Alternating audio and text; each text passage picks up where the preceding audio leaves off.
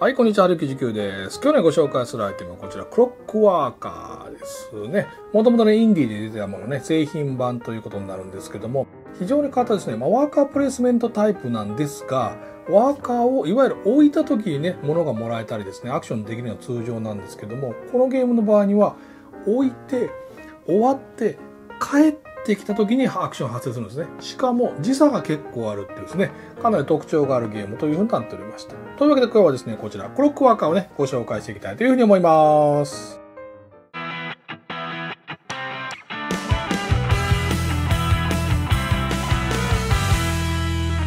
The Game Gallery. はい、というわけでですね、こちらね、クロックワーカーをご紹介していきたいというふうに思いますが、オープニング見ましたとね、これ基本ワカプレタイプのゲームなんですね。なんですけど、ワーカーは、まあ、ロボットたちなんですけども、置いた時には効果発生しないんですね。それが帰ってくる時に効果が発生するというね、なかなか変わったシステムでございましたが、まあ、早速ね、中の方ね、開けていきたいというふうに思います。はい、じゃあね、クロックワーカーね、順にご紹介していきたいと思います。これね、まあ、ロボットたちがね、主役になってね、まあ、滅んじゃった世界でね、頑張って生きていこうなんていう設定のゲームになってるわけですけど、まずこちらですね、これあの場所カードと言われてるものなんですけども、ここにね、自分のワーカーを基本送り込んでいくわけなんですね。で、これのカードが、こんな風にね、まあ、販売対象って並んでいますので、オーソドックスなシステムとしては、これを購入していって、自分の手元ですね。最初からね、ここにね、ここに0が書いてですね。まあ、これ最初から1個持ってるわけですけども、ここのところの、この空いてるところに、これロボットなんですね。これがワーカーなんですけども、これを置いていくことで、効果を発揮すると。まあそういう仕掛けになっとるわけなんですよね。なのでこれをたくさん場所カードを自分の手元の方に並べていって、こちらのところに、まあ、いろんなロボットをこう置いておくことができれば、まあ一度にたくさんね、まあ、資源とかをこっちザラーっとありますからね、まあ、入手できると。まあこういう仕掛けになっているわけなんですね。で、このゲームが面白いのは先ほど言いました通り、これ置いた時に何も効果発揮しないんですね。ここのところにですね、ちっちゃく書いてるんですけども、えーこちらのところにですね、歯車とかですね、これね、こういったね、資源を表すアイコンだとか、ロボットだとか、こちらのところにも見ていただくと、赤色とか緑色、まさにこういったね、色の絵が描いているんですが、手番の流れとして、自分の手番が回ってきたら、一番最初に上から全部1個の帰ってくるんですね。1匹ずつ返ってくるんですね。帰ってくると、この時にこれの赤が1個、これの赤が1個、これのギアが1個。こんな風に動くゲームなんですね。で、その後にこれらを使って、こういうものを買ったりして、また増やしていくっていうアクションをする。こういう感じなんですね。なので、ここにロボットを置いた瞬間で何も発動しなくて、だんだん帰ってくる。手番が回ってくるごとに、じゃあ次の手番が私帰ってきたらこれだったら、例えばこの子が帰ってくると、ギア2って書いてるので、ギアを2個もらう。この子が帰ってくると、ここ緑って1個帰ってくるので、緑を1個もらう。この子が帰ってくると、ギア1って書いてるので、またギアをもらう。で、ここも空っぽになったんで、もう動かないと。こういうのを繰り返すと。こんな基本的なね、仕掛けを取ってるゲームになってるんですね。なんで、この場所カードね、最初から1個0の書いてるやつね、0番って書いてるやつが、ここが最初から持ってるカードなんですけども、これ以外のやつをここからだんだんと買ってくることによって、手元のところの場所拡充していってそこにロボットを置いてたくさんリソースを手に入れていきましょう。これはま基本のコンセプトなんですね。で全体のセットアップをしてみるとこんな感じなの、まあ、結構ね場を使うゲームなんですけどもこれもすいません。今レビュー用に出してますけども実際まだまだありまして実は全部のカードがね出てくるようになってます。複数あるやつもありますけども全種類がここにバサーっとこれレレリックですね。いわゆる異物っていうカードなんですけどもこの異物カードとここレコードですね。もういわゆる本当のね回る円盤のレコードですけどもレコードっていうのがここにたくさんあるということになっています。で先ほど言いましたように手番の流れだけもう一回ご説明し直しますと自分の手番になると自分のねこの場所カードの上に置いてるやつのロボットがそれぞれ一番上から1個ずつ帰ってきてそれぞれの効果をね書いている。ここだったらこの赤いキューブをもらったりですね青いキューブをもらったりですねギアをもらったりそれこそロボットをね新しいのをもらったりっていうのはもうこの子に書いてるまんまのやつをもらっていきます。それでその後自分の手番ができるアクションが6種類ほどあるんですけども、それから1個やったら手番が終わりということになってですね。で、一つは何かっていうと、まあ、非常に分かりやすい先ほどここにありましたですね、ここのところの場所カードを買うですね。場所カードを買うにはここのところに3ギアとか4ギアとか5ギアって書いてるので、まあ、ここのところのギアをね、払うと。ギアを払ったら指定のものがもらえると。場所によってはギアを安くもらえたり、一番ね、この場所のところのもらえるものがすぐもらえたりなんていうのも指定されていますけども、一つはギアを買うですね。で、このね、場所カードは基本的にこうした金だの、赤だの、青だの、緑だのっていうね、こういうリソースを手に入れるのが主な目的なんですね。あとはお金の代わりのこのギアだの、ロボットだのっていうのを手に入れるのがこの場所カードなんですけども、これ点数じゃないんですね。点数はこの電球チックのやつなんですけども、他にできるアクションとしてはこっちのレコードを買うっていうのがあるんですね。レコードを買うのはもうこう見ていただくとまんまなんですけども、これ赤1、緑1、青1を払うことができたら電球4ですよ。4点ですよね。つまりこれ全部こんな形になってて、こちら。赤に緑3払うとこれが変えて電球8点ですよね。つまりこれもダイレクトの点数なんですね。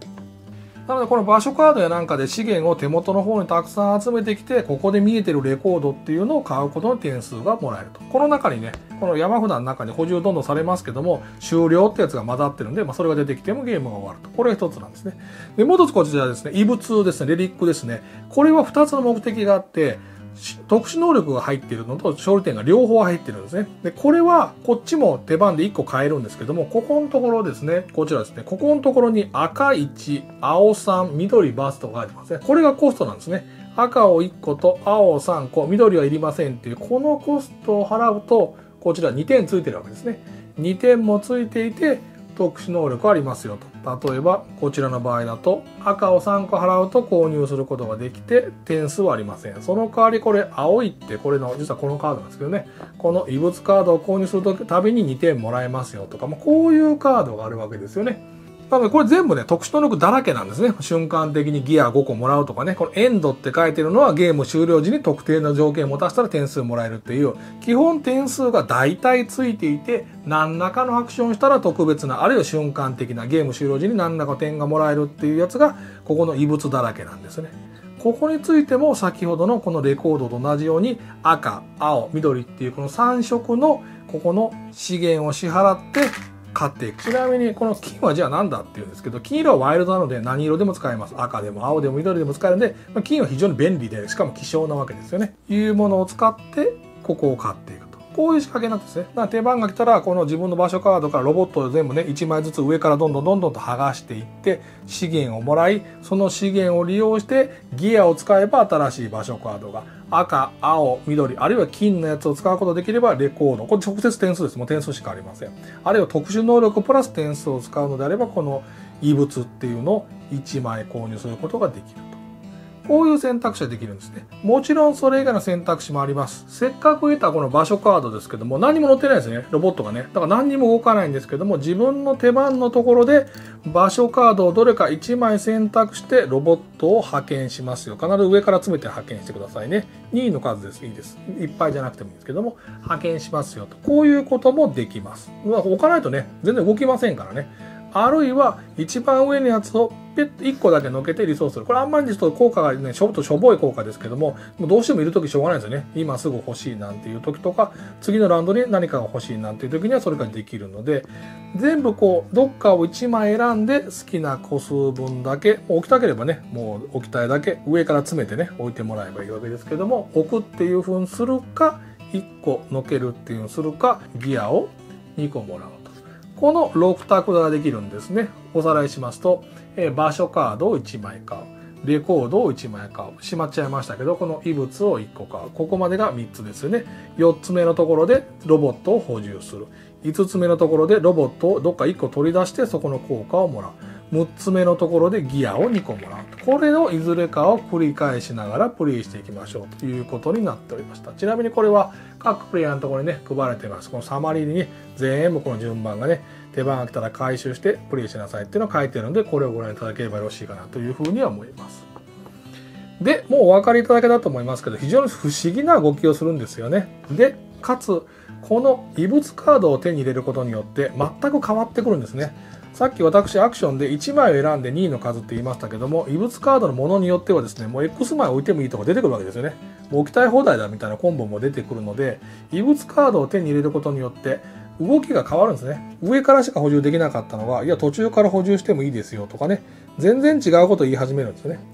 ここの異物カード取った中身によっても違いますし、結構最初スローモーなんですね。ちょっとずつ集まってきて、ドーンと強いカードを手に入れても結局1個取って2ギア1個取って赤リソース。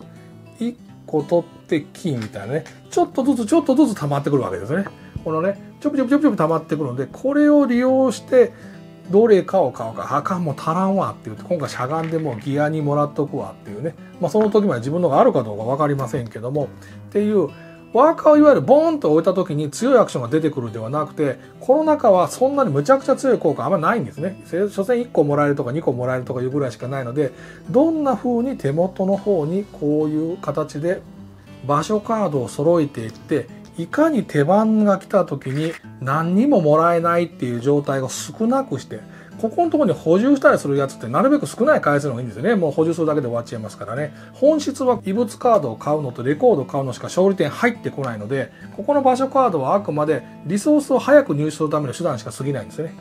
ここのところの駆け引きっていうところが、もちろん誰かが買っちゃったらなくなっちゃいますからね。ボンボンボンボンってなくなっちゃいますから、うわ、あれなくなったわとか、もちろん言うことがあるでしょうし、同時にこのレコードも全部早物勝ちですからね、あ、やっと溜まったわってみんなこう残念ながら見えてるので、原さんこれでしょ次って分かってますよってポッと取られる。ゲゴーって言うってことあるんですね。で、先ほどあったこの異物カードなんですけど、最初に全部出てるんですね。全種類がこのマニュアルのこんな形になって 4×4 の16種類出るんですね。で、枚数がね、そんなないんですよ。全然ないものもあって、1枚しかないものもあったりするので、早いもの勝ちでどんどんどんどん取られていくんですね。ここのところの駆け引きは結構ちゃんと周りの人を見てみないと、うわ、なくなったわっていうことはあります。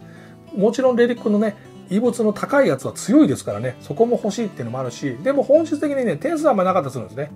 だからパワーを上げたいのか、ゲームを終わらせ早く終わらせたいのか、レコードを買いたいのか、場所なのかっていうところをうまく見ながらプレイするっていう、あったようでなかったプレイ感のゲームかなという気がします。ちょっと気になるのは、やっぱり最初言いました通り、初速遅いです。この場所カードも全然最初ね、ゼロの一番基本のしかありませんし、もうちょっと帰ったら終わりですからね。もちろん最初からギアは一定数ね、プレイ手番順に応じてもらってるので、何らか変える状態にはなっていますけども、非常に序盤ゆっくり進みます。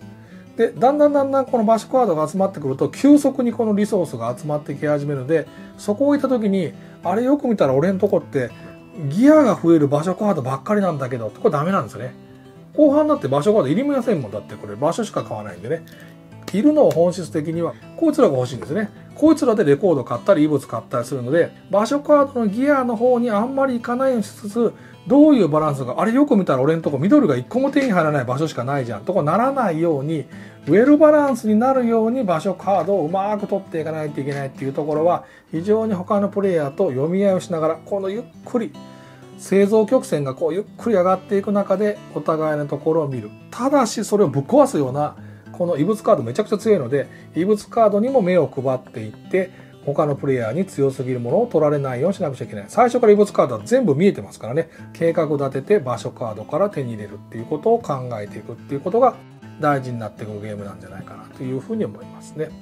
で、気になった点をお伝えしておきましょう。これ、ここのところにですね、カードの特殊効果が書いてます。これ各プレイヤーを渡してくれるやつですけども、もちろんこちらマニュアルの一番最後の方にも書いてます。ただ、結構独特です。あんまり他にも見ないような書き方で書いているので、こういうなんか3個アイコンが並びみたいな書き方してるので、結構独特なので、少なくともこの異物カードについては16枚なので、最初にですね、全部最初から変える状態になっているので、これの中身は一回みんなで話してですね、これはこういう話だよ、こういう効果だよっていうことは頭通ししていた方がいいと思います。ちょっとね、パッと見、連想しづらいやつがちょいちょいあります。なので、ここのアイコンの見方については確実に確認しておいた方がいいかなと。逆にこの16枚しかないんですね。このレコーダーも単純に点数を取るしかないし、この場所カードについてはもう本当にこのリソースのね、とロボットをもらうっていう効果しかないので、ややこしいのはここしかありませんが、アイコンが独特なアートワークになっているので、必ず最初に確認した方がよろしいかなというふうに思います。The Game Gallery はい。というわけでですね、クロックワーカーをご紹介いたしました。まあ、非常にね、やっぱ独特のね、システムだと思うんですよね。ワーカープレイスメントたくさんありますけどね、まあ、最近だとね、置いた時に発動、抜いた時に発動なんていうのね、一応あったりしますけども、このゲームは完全に抜く時しか発動しないですね。しかも若い子じゃないですね。バサバサバサバサバサーっとあちこちにロボットを派遣しておいて、ロボットがパラパラパラパラパラって帰ってくるときに、ちょっとずつリソースを運んでくるとね。このリソースをうまく蓄積していって、異物を買ったり、レコードを買ったりするこれ得点の方にある。レコードは得点が高いんだけど得点しかない異物の方は特殊能力あるけども得点はさほどではないっていうところバランスをよく見ながらいつゲームの終わりに向かって進んでいくのかっていうところを考えるかつ異物は全部見えてるので、あ、ダメだこれ次さっき変われるわ。なんていうことをお互いに見合いながらやるというところですね、なかなか変わったプレイ感のゲームかなというふうになってました。ただし、ワンゲームで大体ですね、まあ45分と書いてますけども、まあ1時間ぐらいは終わるゲームなんでね、中量級あるいは中量、軽量級ぐらいに入ってくるゲームなので、ささっとプレイできるのでね、いろいろ試してみるのもね、いいんじゃないかと思いますね。異物あたりのところはいろんな戦略が隠れてるような気が私個人的にもいたしました。というわけで今回ですね、クロックワーカーをご紹介いたしました。ザゲームチャンネルの春。キュジクでした。はい、動画をご覧いただきましてありがとうございました。ザ・ゲームガイチャンネルですね、ボードゲームの専門チャンネルになっておりまして、様々なボードゲームのレビューとかですね、プレイレポートなどをお届けしております。もしですね、このチャンネルをお気に入っていただけましたらですね、チャンネル登録とかですね、個別の動画へのいいねボタンをよろしくお願いします。ザ・ゲームガイチャンネルの春99でした。